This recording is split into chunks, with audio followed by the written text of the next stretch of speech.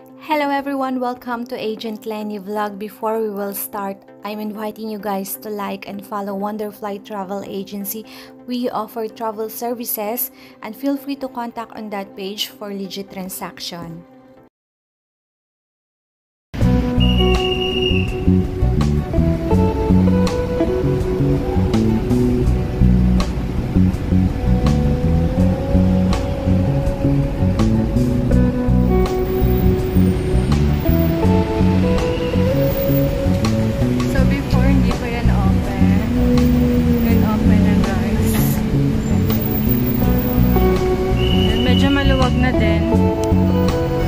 Maluwag na po talaga. Kasi some destination required vaccine only and ID. Unlike before, di ba? Nung nag-start yung pandemic, ang dami pang requirements. So, ngayon, mag-update pa tayo ng requirements end of the month.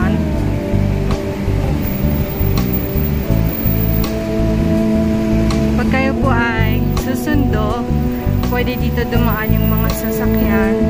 Pag maghahatid naman po, in Terminal 2 po tayo. Nandun po sa taas, sa uh, departure. Ayan po, yung mga garden. Tapos dito yung domestic arrival. Nandun po sa kabila ang international arrival in Terminal 2. So, minsan, pag kayo po ay nag-grab, bay po yung mga pinin nyo, arrival po yun. Yan. Daming naghihintay sa labas. Wala nga lang pong upuan. Unlike sa Terminal 3, meron pong upuan sa labas.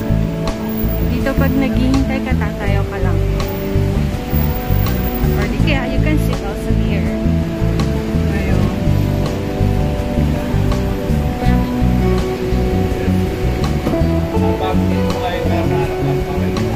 So, dyan naman yung taxi lane. Coupon of airport. May, meron din doon yung white taxi sa dulo. United taxi.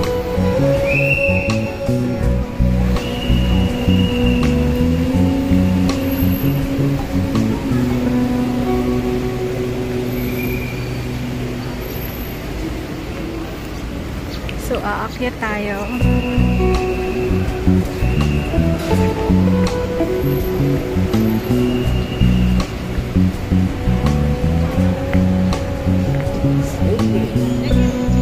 Dito naman po yung hotel lounge area. Sa mga first time. May mga hotline din po dito. Case of emergency, ayan. May mga contact number. So, ito po yung Terminal 1. Problem po kayo. Cargo.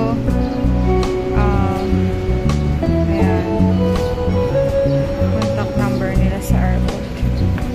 So, let's go to departure.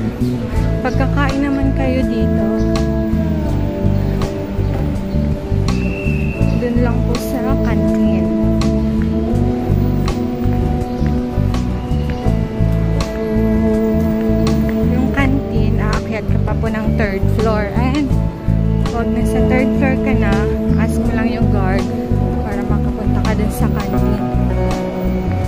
Pwede kang mag-elevator and pwede din mag-hagdan. Ayan yung mga board. Kami po nag uh. So, dyan po yung uh, domestic departure. And doon po yung international departure. Meron din pong Jollibee dito na side. Kung ayaw yun ang pumasok sa canteen. Andun po sa loob na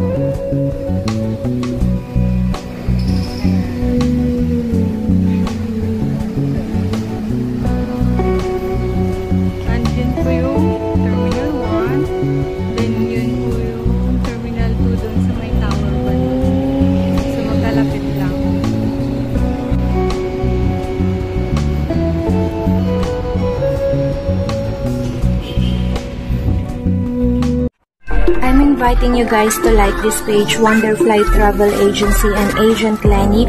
Kung gusto nyo pong magpabook ng flight nyo, message nyo lang po yung Wonderfly Travel Agency.